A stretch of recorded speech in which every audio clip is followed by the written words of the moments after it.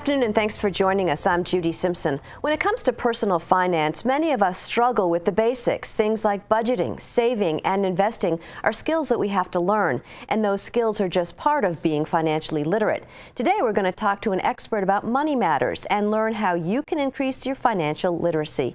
Joining me is John Dwyer. John is president and CEO of the New England Federal Credit Union based in Williston. Thanks so much for coming in. Thanks, Judy. What exactly is financial literacy? You know, I think financial liter- literacy simply means that you're keeping track of your money, uh, keeping track of the financial flows and the resources you have for your, yourself or your household. Uh, it's beyond just keeping track of your checking account. Uh, you know, you do need to balance your checkbook every month. Mm-hmm. many people need to remember that. Uh, it's also keeping track of uh, and being prepared for surprises that come up. Uh, and in this day and age, there are many more tools to use for that. Uh, there's online financial management tools. Uh, many financial institutions present your uh, monthly statement in a electronic format, so it's become easier uh, to keep track of your finances. Mm-hmm. And so, what are the benefits of financial literacy? Uh, you know, there there are many. Yeah. most importantly, you know, it is you're more comfortable when you know that you have the resources for those rainy day issues. Uh, there are also many more factors that go into um, what you pay for things. Uh, so financial literacy can mean that you're better prepared when you go buy a car. You know, what are the structures? What's what are the rules around buying a car? What are the benefits around buying a car directly? Uh, what are the benefits around getting financing? Uh, and perhaps most importantly, uh, with credit scores and the use of credit scores becoming more prevalent in our society, uh, we use them obviously when we make an auto loan, uh, we use them for mortgages. Uh, when you're financially literate and you manage your credit score, that typically will result in the higher credit score. Mm-hmm. And the higher your credit score, the lower interest rate you'll pay on most things that you borrow for. Uh, What's the best way to get a higher credit score. Uh, make your payments. Yeah. Uh, you know, really, that's that's really the biggest factor. Um, there are other factors. Obviously, making payments and being on time is the first. Means you're uh, responsible. Means you're responsible. Means you met your obligations. So to the to the entity that's thinking about lending you money or providing you a, a, even a rental for an apartment, uh, they have the confidence that you're going to pay them back. So that higher credit score helps them evaluate that. Um, other factors are don't have a lot of credit card debt and don't have a lot of credit card uh, lines. So, uh, credit card or pardon me, credit scores um, are influenced by not only the overall amount of debt you have, but what is your access to debt. So, for example, if you have a $3,000 credit card line availability, um, you don't want to have a $2,900 balance. Right. That's going to lower your score a $1,000 balance on a $3,000 line will structurally have a better score. Mm-hmm. So those are some ways to influence uh, the credit score. And so with that credit score, if you go, as you mentioned, for a loan, you may be paying less money because you have a better credit right, score. Absolutely. The rate you're going to pay on a car, uh, the rate you're going to pay on even a mortgage now, um, fees you're going to pay at closing on a mortgage uh, are going to be lower with a higher credit score uh, because again the the risk on those loans is going to be lower mm-hmm. um, so that credit score has a much bigger influence uh, than it did even five or ten years ago so, can you talk a little bit about the big picture? What does financial literacy look like on the national level? Sure. I, you know, financial literacy has been getting a lot more press over the last few years. Um, in fact, recently in a uh, May 2016 Atlantic, Atlantic Monthly article, I gave some you know statistics that we hear about regularly in, in my business. But it says that about 50% of consumers cannot raise $2,000 in 30 days if they had an issue. Uh, 49% of consumers can't cover a $400 emergency without selling something or borrowing money. Uh, 37% of consumers have a higher level of credit card debt than they have in savings, uh, which really means that they are living paycheck to paycheck in many cases.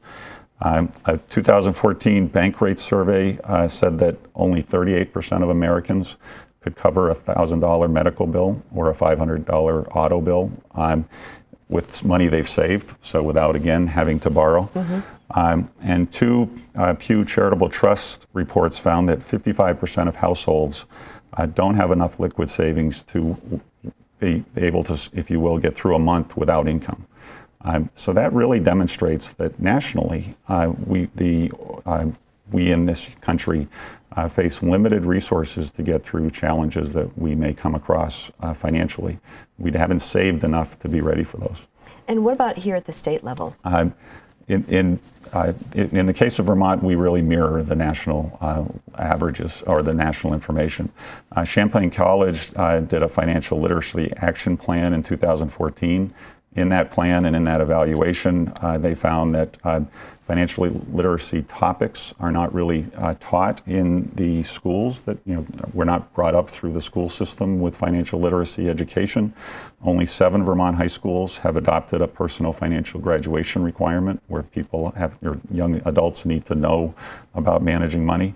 Uh, many high school students make decisions about not only where to go to school, but what to uh, focus on in their studies without really thinking about what the income they will earn in those studies after. Um, and that's and whether they'll be able to pay their college pay loans their college back. loans, yeah. pay the, you know, what their lifestyle would be like based upon what they're uh, going to earn. Uh, that survey also talked about 50% of Vermont workers, only, or pardon me, less than 50% of Vermont workers um, are participating in their retirement plans at their companies, um, a very important factor for financial literacy. Um, and only 36% of Vermont adults had a rainy day fund uh, that could last them three months uh, if they were not working or had some medical issue. 60% um, of Vermont adults tell, uh, told people in the survey uh, that they struggle with finances, uh, that they find they're meeting their financial obligations stressful. Um, and as I mentioned earlier, a lot of technology now help people, can help people uh, manage cash flows, manage, you know, prepare for retirement, uh, prepare for a rainy day. Uh, and those tools uh, need to be used uh, effectively, uh, and they also need to be used safely in the context of you know, online safety. Mm-hmm. So, how do we turn this around? How can people gain access to financial literacy and education? Well, there, there are a lot of organizations that are interested in helping consumers uh, become more financially literate. Whether you talk about the state of Vermont, who has a website. Uh, at the, it's actually part of the Vermont Treasurer's website. You can reach that at uh, www.vermonttreasurer.com gov. Uh, they have financial literacy resources available. Um, New England Financial or New England Federal Credit Union uh, and other financial institutions are also focused on providing resources. We have many resources on our, our on our website. Uh, we have webinars, we have podcasts, um, and we also have um, other types of education where we do in person education. So, all of us in the financial services community are interested in helping people so they could reach out to their bank or credit union. Mm-hmm. Is there one thing that people can do to start down the path? Is there one one big thing that folks can do to start turning this around? Sure. Uh, keep track of your spending. Um, you know, really the, the most important factor for all of us is, you know, we, we all tend to know how much money we are bringing in, so to speak, to the household. Uh, but keeping track of the use of your debit card, uh, keeping track of how the checks you're writing each month. Uh, again, there are many tools to use, even a simple spreadsheet uh, at the end of the month to take an hour, sit down, uh, and keep track of it. Um, and then get some financial education. Uh, you know, go to a seminar, an hour, two hours um, and start using those resources that help, can help you plan. Mm-hmm. And so, what kind of results do financial literacy and education programs have? Uh, you know, I think most importantly, they tend to have uh, the the result of helping people improve their credit scores and helping people plan for their future. Um, you know, people will be more comfortable going forward if they start really focusing on retirement. Um, you know, we talk often about rainy day funds. Um, you know, we don't necessarily come out of school or start our first job with a rainy day fund. right. So a lot of what we hear from people who have gone through financial education is that they've learned how to save better. Uh, they've learned how to affect their credit score. It doesn't happen in a month, but it can happen in, over time, and even in a year, you can influence your credit score. Um, but they're more aware. They're more aware of their spending. They're more aware of um, focusing on being prepared for events that may arise. Mm-hmm. Um, that's the most common example. But if you know, we talk about people living paycheck to paycheck, where, where does that extra money come from? You know, I think the, the, what a lot of the education that we do and a lot of the financial planning that we do uh, with with our, our members uh, really focuses on you know start with ten dollars a week. Start with um, you know the next time you get an increase, a raise, mm-hmm. uh, take half of that raise and save that. Um, you'd be amazed that you know within a few years or even a, within a couple of years you know, that change in behavior. Um, you know, there, a really common example is don't buy that cup of coffee every day. You know, that's four dollars right. a day or five dollars a day. Mm-hmm. Um, you know, those types of behaviors do impact you know your ability to build some resources um, and participate in the 401k. Um, you know, that's really from the start. Um, you know, when you start that first job, uh, participate in that because you do need to save for retirement. Because you never believe that you'll grow old. That's right. that's what. That's absolutely true. None of us are going to actually uh, retire, right? Uh, exactly. We're not that soon. Uh, so, um, is it safe to say that it doesn't really matter how much money you're making? You can learn something through exploring financial literacy, either information or courses?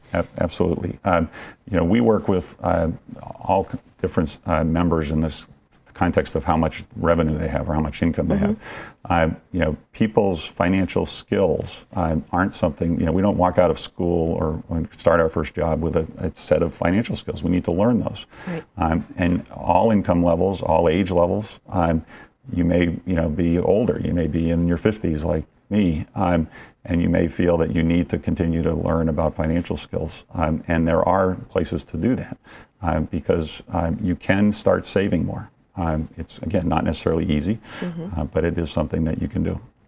Um, you talk about um, credit reports and credit scores and, and how important those are. We see all the time on TV ads for find out your credit score. Um, what should people know about these ads? Uh, what's important about those ads is that in many cases, what they're trying to get you to go to is a website where they want to charge you a fee to monitor your credit um, or to give you access to something you can get for free directly from the credit bureaus. Mm-hmm. Um, so when you go to either go to the VermontTreasurer.gov site uh, or to other financial institution sites, and they'll link you directly to the credit bureaus because by law you do have access to your credit bureau every year, um, and those credit bureaus will offer will provide that to you without charge and without all of the ads or all of the add-ons uh, that come with some of those sites that people send you to. Mm-hmm. Uh, there, there are some that are good, uh, but many of them are trying to sell you something else. What do you think is the biggest uh, mistake that people make because they lack financial literacy? Uh, thinking that they can't learn it. I, you know, I think that's true for all of us, right? There are a lot of skills that we figure we I can't. I wasn't good at math. right. I wasn't good at math. I'm not good at you know any some things. Mm-hmm. Um, so I can't learn how to do that. Um, and there are just so many resources available. There's so many organizations that are interested in helping you uh, to do that. What do you think is the single most important financial behavior?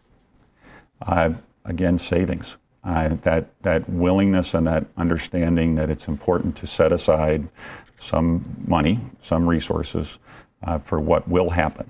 You know, we're all going to face rainy day issues. Mm-hmm. Um, so I think saving, because many of us believe, certainly when we're young, uh, and even as we get older, it's hard to save. You know, there's always demands on us in mm-hmm. terms of financial. Right. There's know. always something that. right. There's always something that we, we need to do, or we have. You know, there are real issues with the house or with the car, um, but having that that habit, it's just like any other habit. Once you start doing it, uh, that's very important.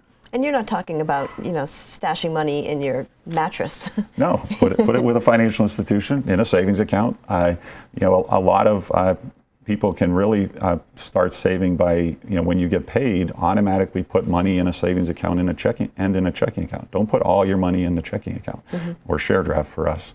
Um, that's one of the ways that people really can learn to, you know, and don't have that savings account accessible on your debit card. Right. So that, you know, it's it's on side, it's, you know, it's out of sight, so to speak. Yeah, um, that's not extra money. That's no, it's separate. there for, you know, when you need it for that tire or furnace or something like that. So once again, how can people contact NEFCU? I feel free to uh, reach us at our website, mm-hmm. www.nefcu.com. We have a lot of resources available there. Also call us at 800 400 8790. Um, and we have a lot of people who will help uh, give you some information on financial planning. Uh, and also, we have two full time financial planners who help people with these issues. Mm-hmm. And it's never too late it's never too late. There's always the future that you need to prepare for. Well, thank you so much for joining us today. Thank you. That's our program for today. I'm Judy Simpson. I'll see you again next time on Across the Fence.